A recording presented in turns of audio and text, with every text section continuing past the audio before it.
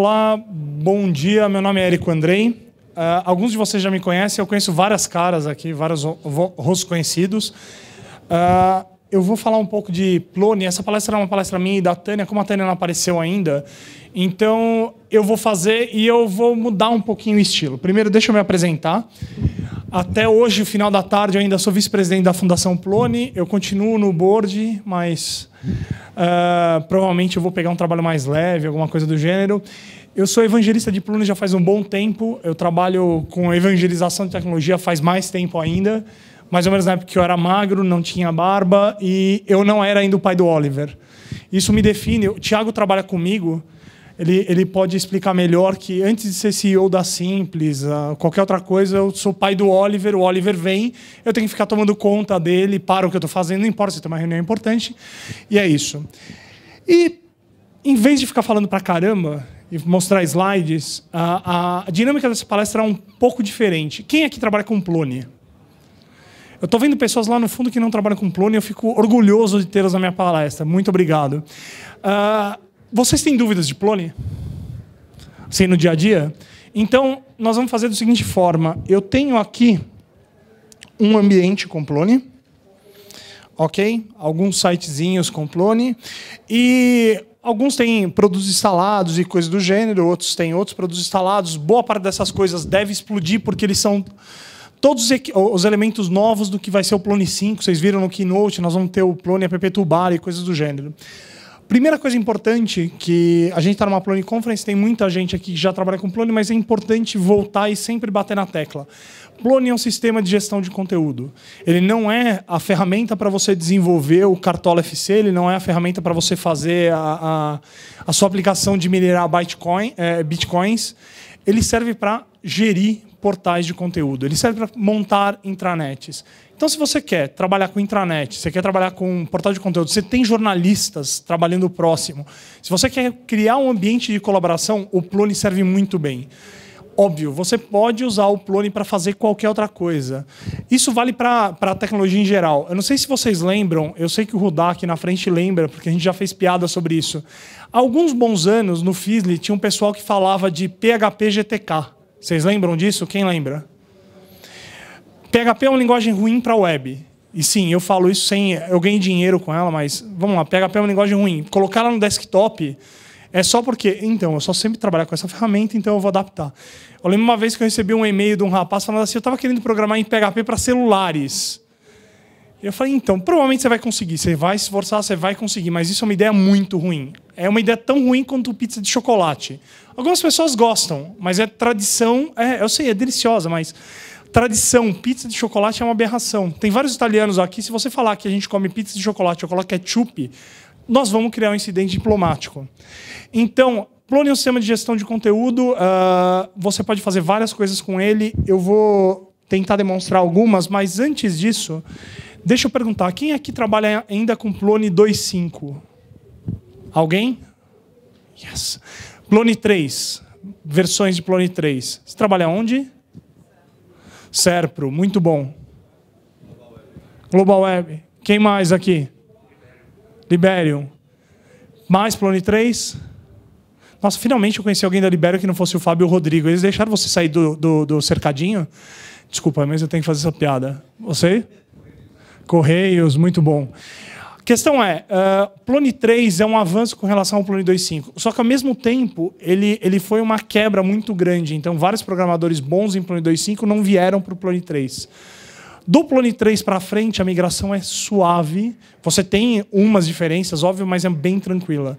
Quem aqui trabalha com Plone 4? 4.1, 4.2, 4.3? Ótimo. Nossa, boa notícia. Uh, quem aqui já brincou com Plone 5? Já? Ah, muito bom. Uma das coisas, vocês viram que o Portal Brasil novo foi lançado. O Portal Brasil, ele basicamente é o Plone 5.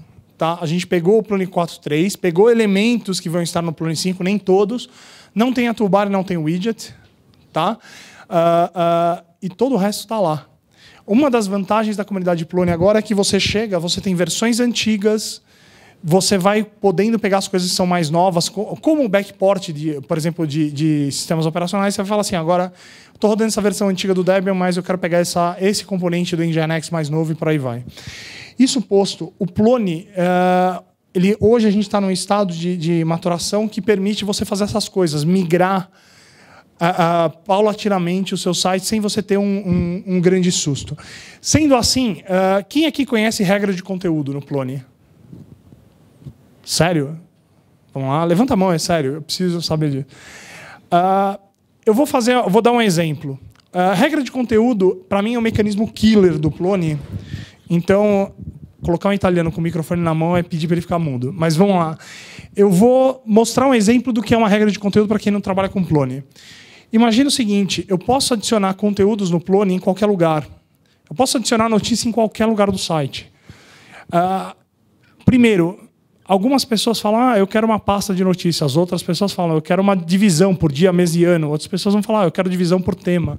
Você tem várias regras de negócio aplicadas. Regra de negócio é um negócio ótimo. O problema é que você tem usuário na ponta. Né? Antigamente, você tinha que desenvolver uma série de mecanismos, criar um tipo de conteúdo novo para evitar que a pessoa pudesse uh, uh, inserir conteúdo em algum lugar. O que a gente faz hoje é regra de conteúdo, ele vai falar, olha, regra de conteúdo para esse site. Vamos utilizar o painel de controle, não tem nenhuma, eu vou adicionar uma regra.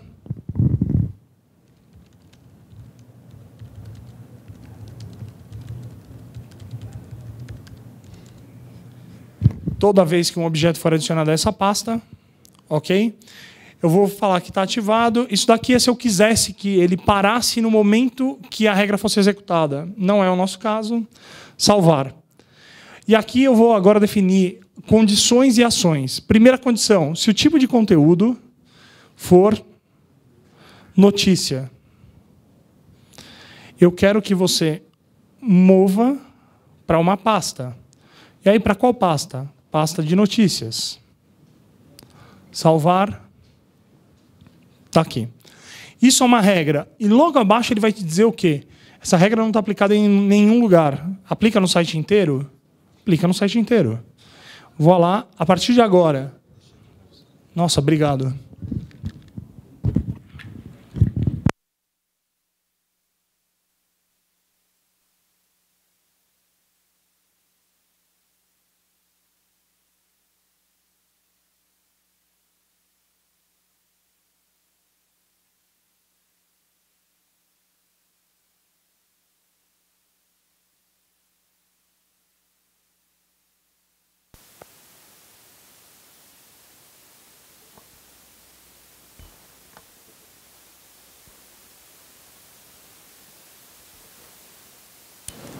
Alô?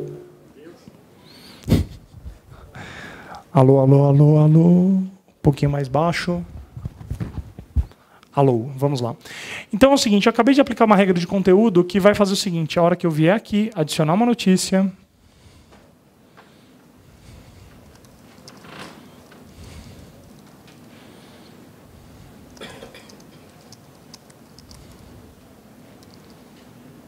colocar um corpo de texto qualquer. Poderia colocar uma imagem, não vou. Salva. Ele automaticamente move para o endereço novo. Ok? Estão vendo que estava em, é, tava, eu estava na raiz, ele já jogou aqui para dentro de minha notícia. Tem uma outra coisa interessante, que é o seguinte: eu posso criar regras de conteúdo para quando, uma, por exemplo, quando uma notícia for publicada no site. Vamos dar uma olhada aqui.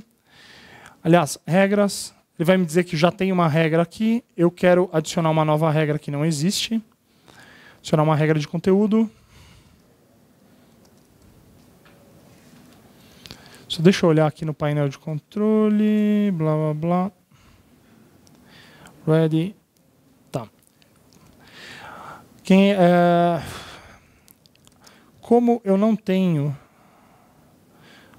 um cara products.printing mail host. Eu acho que esse é o nome. Quem conhece esse products host? Legal. Uh, se você está desenvolvendo, você tem que ter esse cara, porque ele permite que toda vez que você mandar um e-mail, ele coloque no log ao invés de tentar disparar. Então, bin buildout menos n Então, bin instância fg. 8080. Aqui ele avisa que não vai disparar e-mail nenhum. Então é importante isso para a gente. Está disponível. Então, notícia publicada. Envia e-mail a cada notícia publicada. Então, quer dizer, quando eu tiver uma alteração do estado do workflow, salvar, eu vou dizer que o tipo de conteúdo for notícia. Eu vou dizer também que a transição do workflow vai ser publicar. E ainda só para ter garantia que eu posso ter, eu posso ter o mesmo estado de, de, eh, eh, de workflow sendo, a, a, sendo atingido, você chegando por vários caminhos. Eu posso ter, por exemplo, eu quero que toda vez que tiver uma notícia que estiver pendente, eu tome uma ação. Só que tem dois cenários. Uma notícia pendente, ela, tá, ela poderia estar tá privada e um usuário pediu para ela ser aprovada. Então é alguém iniciando uma ação, ou ela poderia estar publicada e alguém retornou ela. Então, eu normalmente, quando eu trabalho com, com workflow, eu coloco sempre a transição e eu falo também qual estado de workflow que eu quero. Então, publicado. Você pode ir encadeando várias regras, se todas forem uh, atingidas, ele faz a ação. A minha ação é enviar um e-mail. Eu vou dizer que o assunto é notícia publicada. Origem do e-mail, site arroba pluniconf.org. Destinatário, por exemplo, ericof.plone.org. Poderia excluir o ator se você tem, por exemplo, ó, mande para todo mundo que é leitor ou que é colaborador no site ou revisor no site.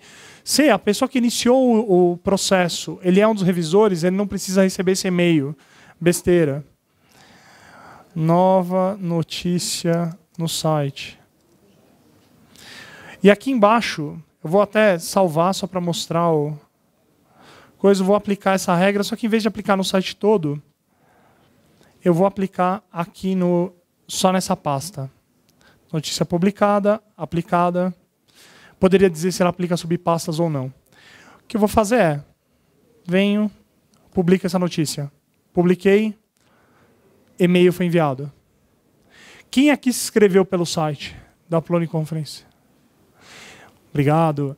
Sabe todas aquelas transições, todos os e-mails que vocês receberam? Vários deles foram para spam, foi uma dor de cabeça, eu sei. Para cada ação que a gente fazia no objeto inscrição, vocês recebiam um e-mail. Recebiam um e-mail, um e-mail para vocês e um e-mail para a gente.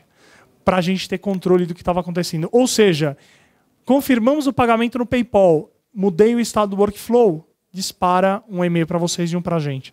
Eu sei que a pergunta é, é, ela vai ser o seguinte: ah, mas ela, essa, essa, essa ação foi simplesinha, porque eu não customizei nada do e-mail.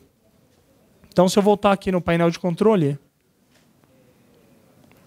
regra de conteúdo, notícia publicada, eu posso simplesmente mexer e eu tenho aqui embaixo substituições que eu posso falar então onde foi. Notícia, nova notícia no site, publicada no endereço tal. Posso colocar por. Como eu estou usando o usuário admin, ele não tem um full name, não tem propriedades, e você pode ir crescendo isso daqui. Por. Uh, posso colocar o que mais? Título. com título aqui. Obviamente, eu posso substituir endereço de e-mails aqui. poderia falar, olha, quem vai receber esses e-mails? Aqui embaixo eu tenho todo mundo que é contribuidor no site, todo mundo que é editor, todo mundo que é, é, é administrador do site, todos os membros. Então imagina, eu quero publicar uma notícia toda vez, eu quero que toda notícia publicada eu mande um e-mail para todos os usuários. Isso é super comum, é caso de uso. Uh, eu já fui, dei treinamento em alguns TRS, é quase sempre a mesma coisa. Dá para eu disparar um e-mail toda a, hora que a notícia for publicada? Isso é a primeira pergunta no treinamento de desenvolvimento. Aí eu falo, sim, mas eu sinto informar, você não vai escrever uma linha de código. Isso está pronto. Uh, você pode pegar, então, todas essas informações e fazendo a substituição. Salvar aqui de novo, mudei a regra Vou pegar essa mesma notícia, vou enviar de volta e eu vou publicar novamente. Publiquei. Nova notícia publicada no endereço, coloco o endereço por admin com o título tal. Quem aqui já tinha brincado com regra de conteúdo nesse nível? Vocês usam ela para quê, normalmente?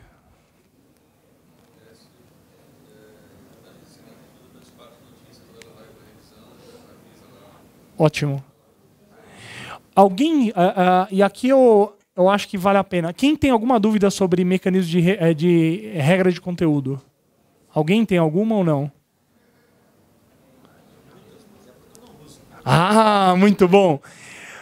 Uma coisa só, vocês viram que ali eu tinha várias, uh, várias regras de substituição. Eu vou mostrar um pedaço de código pequeno, como eu crio uma nova. Uh, eu acho que é Conference, Site, Conference 2013, Source, a PIB Conference, Sublime. Esse código está dentro do GitHub, tá? Então, se eu não me engano, tu, tu, tu, adapters. Esse, por exemplo, é o código que faz aparecer no site da, da Plone Conference parece o seguinte: você tem o, o, tem um tipo de conteúdo que é uma inscrição que tem um e-mail, ou o palestrante tem um e-mail. Esse não é um, é, não é um, um atributo que existe sempre no Plone. Então, olha basicamente o que eu fiz. Eu tenho um cara aqui que ele vai procurar uh, uh, iContent, uh, content, que é um tipo de conteúdo. Ele vai me colocar isso daqui na categoria All Content, ali do, da, das substituições. Então, se eu voltar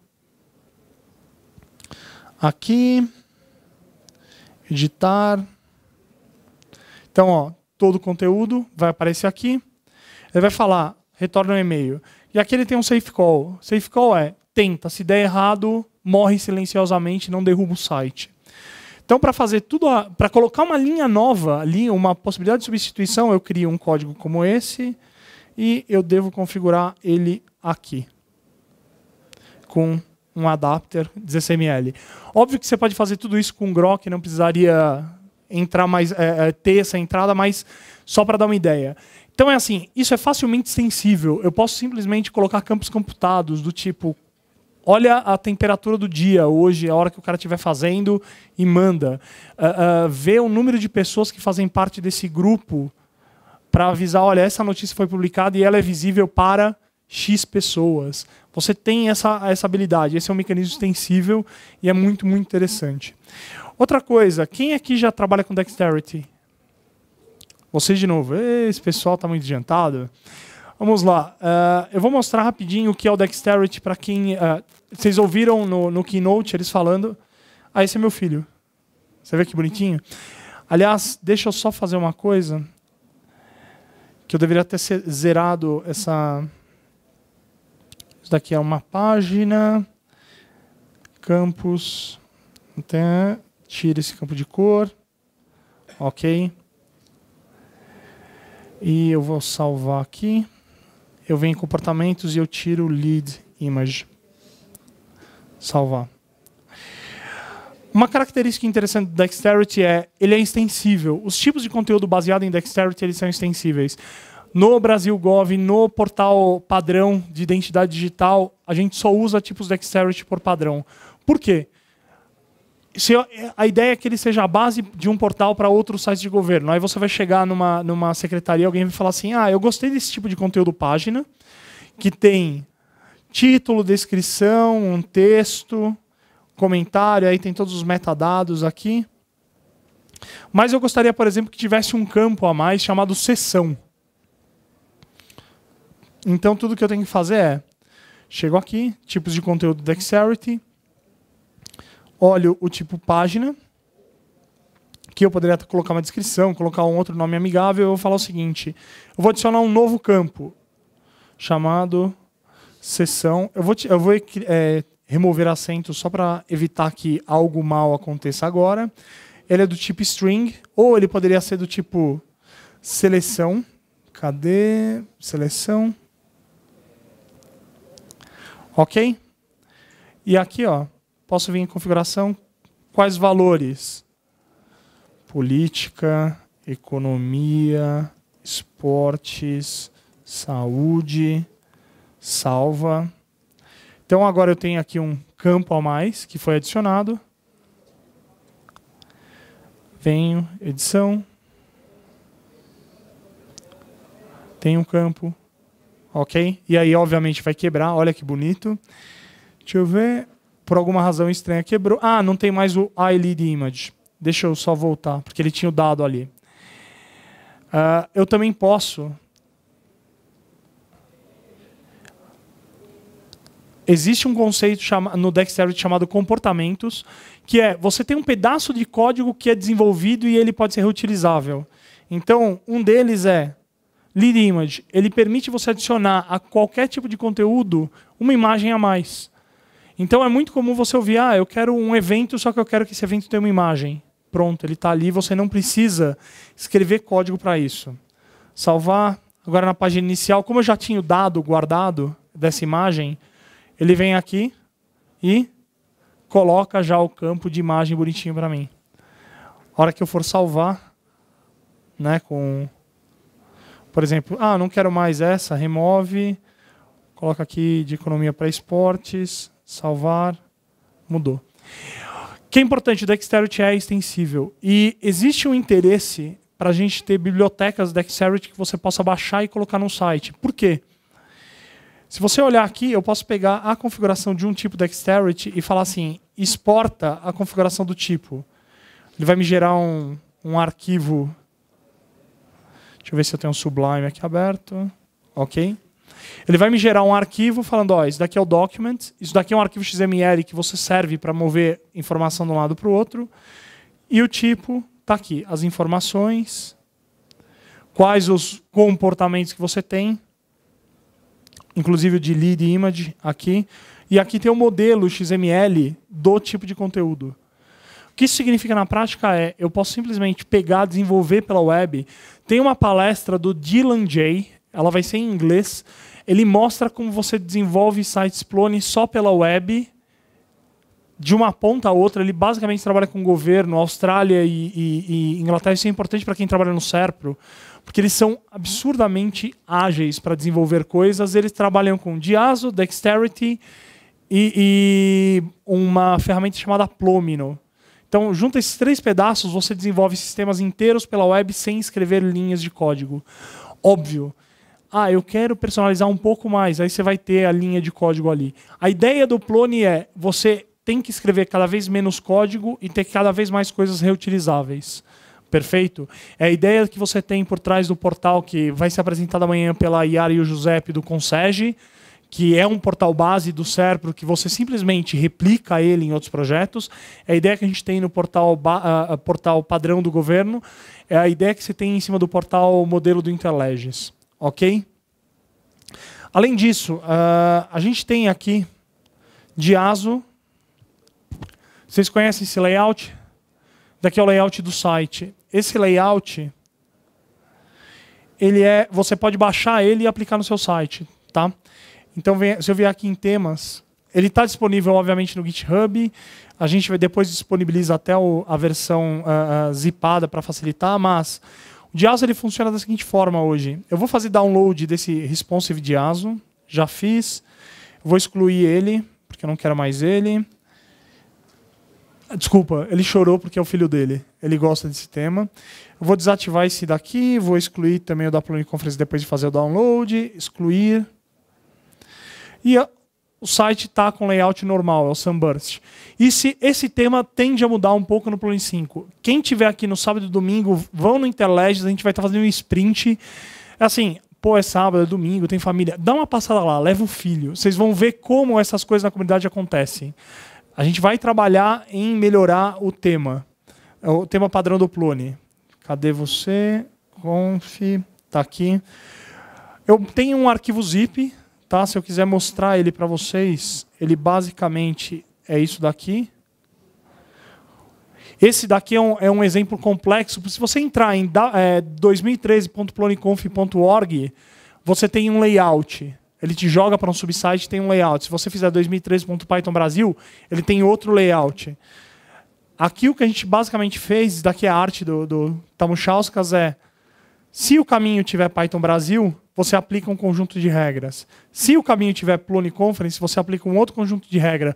Se não tiver nenhum dos dois, se aplica um terceiro conjunto de regras. Ok?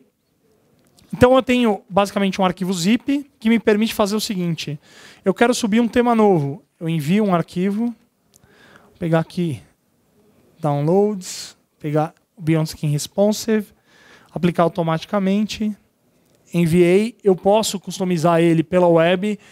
Isso daqui é um outro exemplo de que porque é importante colaborar. Essa funcionalidade que vocês estão vendo, esse editor, uh, uh, que permite, inclusive, você inspecionar como era e como vai ficar e fazer o um mapeamento, foi desenvolvido pela Universidade da Califórnia, Campo de Los Angeles. Por quê? A universidade falou, nós vamos usar Plone. Os designers que estavam acostumados a trabalhar com Joomla, WordPress, ferrou. O grupo de designers se juntou, foi atrás, resolveu isso e fez essa ferramenta que permite você fazer a inspeção do tema. Então, voltar, esse tema nunca é modificado, a hora que eu clico aqui, vou lá. Se eu, inclusive, fizer isso, que daqui é o outro, inclusive é o antigo ainda, ele vai se comportar um pouco diferente. A hora que eu fizer hardware, rotate left, tá de um jeito. Deixa eu pegar o outro, o outro device, um iPhonezinho, velho. Clica aqui. O tema ele é diferente para cada device. Isso daqui é o que a gente chama de tema responsivo. A gente está melhorando um pouco esse tema. Esse é um tema que a gente fez para a comunidade em 2011 para mostrar na Plone Conference rapidamente, numa Lightning Talk. E ele é base dos nossos projetos, inclusive Carta Capital, é base do Portal do Brasil e por aí vai. Se você acessar os, vários sites com celular, eles vão se adequar e ficar com uma cara uh, uh, parecida com, com. Aliás, adaptada para cada device. Vale a pena testar isso. Ok? Última coisa que eu quero mostrar.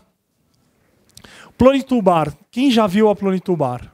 Você, você. Você viu, gostou. Plone Toolbar é o futuro do Plone. A, partir, a edição não vai ter mais aquela barra verde aqui no meio, ela vai ser movida para cima. A ideia disso é, a gente trabalhando com Diazo hoje, eu tenho que me preocupar de, putz, eu tenho que colocar os estilos e os JavaScripts de edição, senão quebra todo o site. Plone Toolbar tira tudo isso da cara do tema, deixa aqui em cima. Tudo que você teria, ó, gerenciar portlets, Uh, eu quero editar o conteúdo. E aqui eu tenho também o Plone App Widgets, que também foi falado no Keynote. Você vai ver várias mudanças, o layoutzinho, uh, eles são um pouco diferentes. Categorização, Plone Conf, Brasil, Juventus. Você vê que ele não deixou, né? Maldito. Aí, pronto.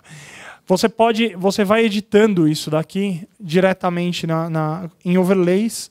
E a ideia é que isso facilita manter a acessibilidade do Plone, porque você vai criar um tema de ASO, como, como o Thiago falou na palestra dele. Uh, uh, os primeiros temas que a gente viu em Diaso, os XDV, eles eram lindos, mas normalmente eles não tinham acessibilidade, eles quebravam, o HTML horrível. Fato é, depois de um certo tempo a gente vai, você vai vendo as pessoas se adaptarem, mas no geral a ideia agora é tirar tudo aquilo que pode te atrapalhar em termos de edição, em termos de, de, de uh, uh, JavaScript e CSS específico do Plone e colocar numa barra separada. O resto você pode tematizar do jeito que você quiser. Você pode criar hot site, você faz o Diaba 4. A ideia é manter o Plone com todas as funcionalidades dele e, ao mesmo tempo, uh, pegar o resto que é o layout, que é a parte mais uh, uh, rica do site, e fazer ela funcionar adequadamente. Eu tinha mais ou menos isso para dizer. Uh, segundo a plaquinha aqui, eu devo ter uns 10 segundos, nem isso. Mas eu abro para perguntas. se alguém tiver pergunta de como fazer isso, vamos embora. A gente responde. Perguntas? Uma pergunta, obrigado, você me salvou. O pessoal, o pessoal olha assim para mim e fala: Eu conheço o Eric, eu não vou perguntar. Manda.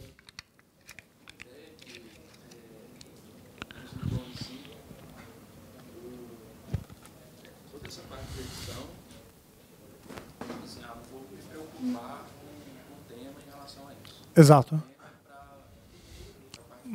Exatamente. Sim, a ideia, a pergunta foi: uh, no Plone 5 eu não vou me preocupar, uh, preocupar com o tema para edição, eu vou me preocupar com o tema só para a parte pública. Sim, essa é a ideia. A ideia por trás disso é é muito caro fazer temas Plone. Por quê? Ah, porque as pessoas não conhecem isso. O Diaso veio para resolver esse problema. Só que a gente ainda tem essa camada de interface de administração que torna difícil. Com o Plone App Toolbar, basicamente, eu estou tirando toda essa, essa dificuldade dali e colocando na Toolbar. Aí você pode pegar um tema gratuito ou pegar até mesmo um tema que foi originalmente pensado para WordPress ou Joomla e colocar ali. Quando é a palestra de vocês? Sexta-feira a gente tem uma palestra que, que é fabulosa porque você vai, eles vão mostrar como, usando é o Kleber ali atrás, levanta a mão, e o Thiago, eles vão mostrar, mais ou menos, você não está tão tranquilo assim? Ah, uh, eles vão mostrar como usar o Diaso na frente do servidor web para fazer, fazer o tema, por exemplo, num Plone Site ser aplicado também para um Drupal, para um Joomla, para um WordPress. O que isso significa na prática? Todo mundo tem sistema legado, certo? Você tem aquele site que foi desenvolvido em, em ASP.NET ou em JBoss. Você não quer mexer no código porque você sabe que ó, a partir do momento que você mexer, você virou dono. Você é o cara que sabe mexer. Então, basicamente, a proposta é coloca o Diaso na frente, sub, eh, deixa com todo mundo com a mesma interface, sem se preocupar com o que está ali atrás. Ok? Mais perguntas? Então eu tenho dois recados para dar. Hoje, uh, hoje às três e alguma coisa tem uma palestra que eu acho que vocês querem ver, que é o Collective Cover.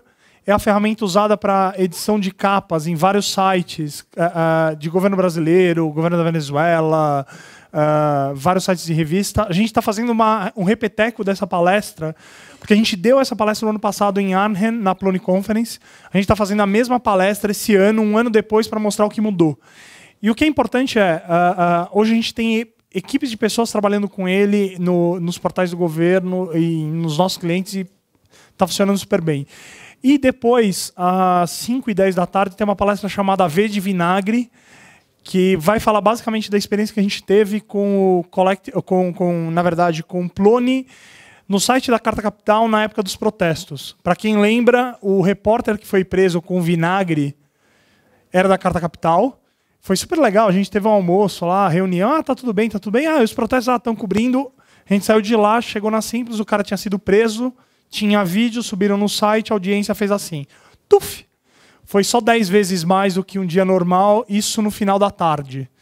Que é o horário que normalmente o, site, já está menor. E a gente estava assim, ai. Uh, o importante é, a gente vai falar dessa história, vai contar também. Quem conhece Telex Free aqui? Telex Free, alguém? Então, a gente vai falar do, do, do efeito Telex Free na Carta Capital e na, nas nossas vidas, o Kleber conhece.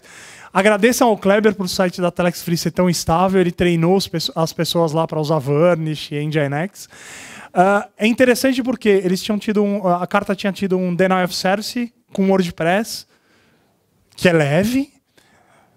Meses antes, o site caiu, foi um negócio terrível. Quando veio os protestos, a audiência foi quatro ou cinco vezes maior do que o denial of service, número de acessos simultâneos, e a gente estava com menos máquina, porque ah, não precisa, tal. A gente tinha até um botão de desespero para apertar. A gente não usou e o site ficou de pé e está super bem até hoje. Então, assim, eu vendi dois peixes hoje, mais duas palestras. Por favor, apareçam. Foi um prazer. Eu agradeço muito vocês estarem aqui na Plone Conference, uh, na Python Brasil. Aproveitem. E eu estou à disposição, o pessoal da Simples está à disposição, o pessoal da comunidade de Plone, eles se você for falar com eles, eles vão te entender. Só é só ter um pouco de paciência. Ok? Mais alguma pergunta? Quer vender o peixe também, Francisco? Ah, o peixe deles é agora. Assistam a palestra deles, que é do Tsuru, não é? Ótima palestra. Gente, muito obrigado. Vejo vocês.